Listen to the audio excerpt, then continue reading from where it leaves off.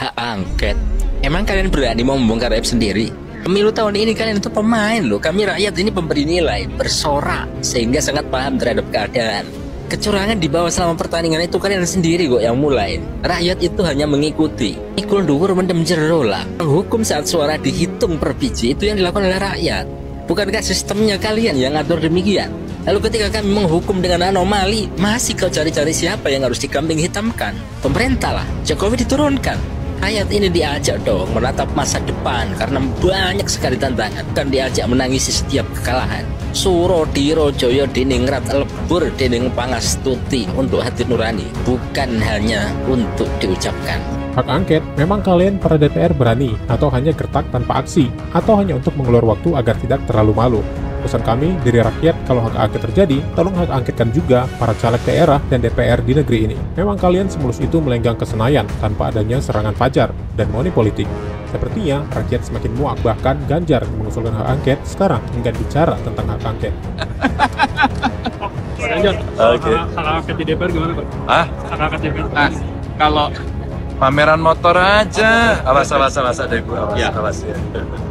Kalau ini TKDN-nya tinggi Pak. Suki Apa itu? 3 dan Excel 7. Ini Excel 7 82 persen. Pak, gimana Pak soal hak, angket Pak DPR Pak? Hak angket di DPR gimana? Kamu nanyain penjualan mobil dong? Iya, Mobil dong, mobil. Viral kembali sikap Puan Maharani soal pemakzulan Jokowi dan hak angket. Sepertinya Mbak Puan ini sedikit malas bicara hak angket. Dia hanya bicara, ya kita lihat dulu urgensinya seperti apa. Mbak, soal pemakzulan permintaan pemakzulan eh, Pak Presiden Jokowi eh, yang kemarin sempat eh, didesak gitu oleh masyarakat sipil. Kalau dari DPR sendiri bagaimana menanggapinya? melaksanakan hal tersebut harus terbukti bahwa kemudian eh, presiden itu melaksanakan pelanggaran hukum dan lain-lain sebagainya.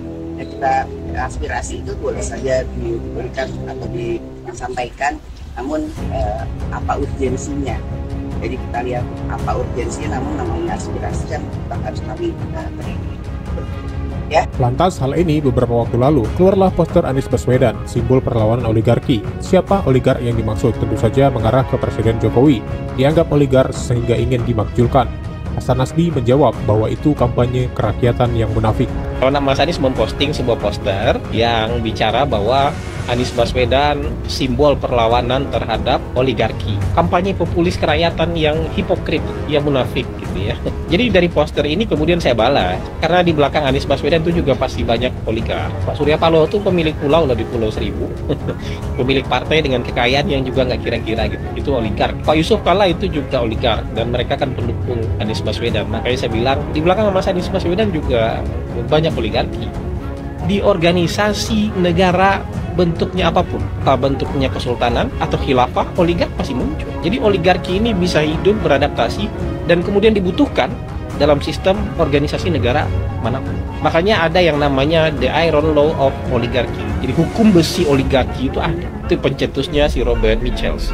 Teori dia benar. Kalau Anda bicara soal organisasi, maka di ujungnya anda pasti bicara oligarki. Menyakitkan memang, tapi banyak orang yang kemudian mencoba membantah, mengoreksi supaya oligarki ini hilang dalam demokrasi. Kalau Anda bilang inilah simbol perlawanan terhadap oligar, itu Anda menanamkan kebencian terhadap orang kaya, menanamkan permusuhan terhadap orang kaya. Tapi kemudian permusuhan ini dipelihara, kebencian ini di, disuburkan, tapi duitnya Anda, anda minta. Kita nggak ada kok minta. Iya Anda sebagai masa nggak minta, tapi operasional Anda, biaya politik calon Anda itu berasal pasti dari oligarki. Saya tidak berani jamin. Silakan tuntut saya kalau saya salah.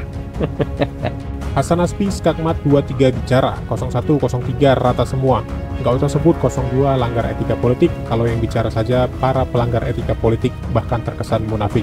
Bisa jadi pasal gugatan yang kalian persalahkan atas Gibran di MK. Suatu saat anak Ganjar Mas Alam, atau anak Bu Puan, atau anak Mas Anies mau capres. Sebelum 40 itu bisa dipakai. Lantas nanti kalian mau pakai, ogah pakai keputusan cacat? Nggak mungkin. Tegas gini Bang Hasan bahas etika politik guys. Pak Prabowo itu nggak suka menyerang orang secara langsung walaupun bahan itu sudah di mulutnya dia. Kalau kita bicara soal etika, sangat mudah Pak Prabowo menyerang Mas Anies balik. Tapi tidak dilakukan. Kemarin juga kita sarankan itu, tapi dia beliau tidak mau lakukan. Kalau kita bicara etika, kan nggak cuma di MK yang ada masalah etika. Dalam hubungan politik juga ada etika. Ada yang dulu pernah bilang, jangan harap saya akan jadi calon presiden selama Pak Prabowo jadi calon presiden. Saya tidak akan menjadi bagian dari orang yang mengkhianati Pak Prabowo. Sudah dia langgar semua itu.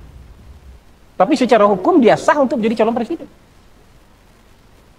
Ada orang yang mengikat koalisi dengan Pak Prabowo terus tiba-tiba dalam 2-3 hari belok dia. Ya kan? Secara etika dia melanggar etika, tapi dia sah sebagai calon wakil presiden. Tapi menyerang-nyerang pribadi begitu tidak akan dia lakukan. Itu yang kita bilang. Nah dalam hal ini kan Gibran tidak melanggar etika. Keputusan MK itu berlaku umum. Termasuk nanti berlaku untuk anak anaknya Mas Anies kalau dia mau jadi capres atau cawapres sebelum umur 40. Berlaku juga untuk anaknya Mas Ganjar kalau dia mau jadi capres cawapres sebelum umur 40.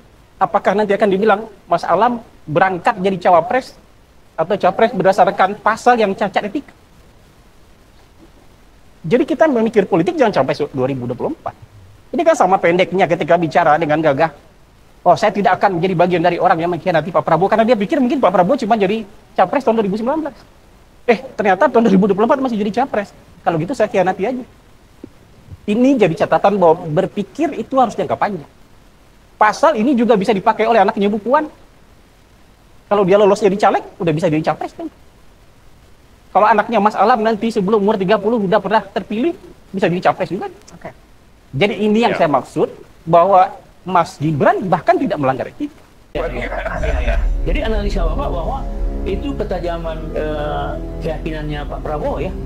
Ya satu hal ob, anu ya analisa Ya, ya. objektif saja Iya ya, dong, iya, ya, ya. tapi yang kedua tentu ada feeling juga. Ya feeling kan? ya, ya dong. Nah, jadi ya kita feeling ya. tapi terlepas dari feeling dan ya, logic power, kekuatan akal sehat, moral power, kekuatan nurani manusia itu men- menjadi sarana untuk penemuan kebenaran. Oh. Tapi di atas itu semua ada Ya. ada yang ngatur ini. Ya, ya. Iya kan skenario nya. Nah, jadi luar biasa. kalau dalam Quran tuh ya, wa makaru wa makarullah wallahu khairul makirin. Ya, ya. Semua orang bisa membuat rencana-rencana, bisa membuat makar, Eh, taktik sih. Tapi ya kan rencana yang paling eh, kuat itu, iya ya rencana dari Tuhan. ya. Eh, iya. Nah, kita sebagai bangsa yang berketuhanan yang maha esa, apa pun agamanya harus harus percaya itu. Iya, karena ada dulu keraguan yang memberikan saran supaya jangan Gibran dengan capture dari survei Hmm. hanya 50-an. Jadi Iya. memang ada kekhawatiran juga ini nggak satu putaran awalnya. Nah, yang menarik adalah begitu Gibran dipilih oleh Prabowo, Ya. bapaknya tidak melarang. Wah, marah orang. Iya. Maunya orang, bapaknya melarang dong. Saya kan nggak bisa begitu. Nah, kenapa begitu? Ada juga harapan ya, Ya, supaya maka nah itu kan selama berbulan-bulan ini sejak sejak ditetapkan ya kan yang dimarahin orang dicaci maki Jokowi bukan Prabowo jadi Prabowo itu jadi menikmati Iya, ya kan? iya. padahal dia yang membuat keputusan Iya. yang kena marah Jokowi orang tua. kasihan juga Ma- Iya, iya, makanya kalau kita lihat Hmm. aduh Hmm.